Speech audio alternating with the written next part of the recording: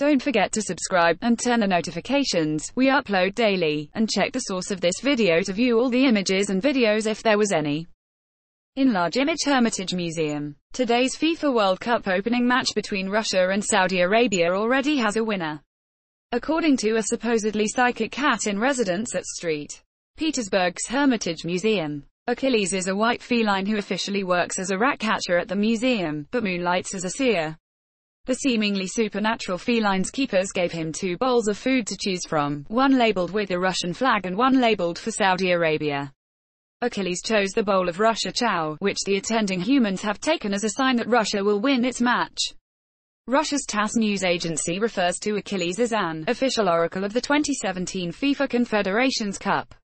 He had a good prediction streak during that soccer event, correctly calling the winner of three out of four matches. TASS reports Achilles showed some hesitation before making his choice.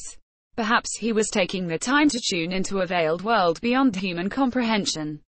The museum has dozens of cats on staff to keep the rodent population down, but Achilles was chosen for his public-facing position due to his chill personality.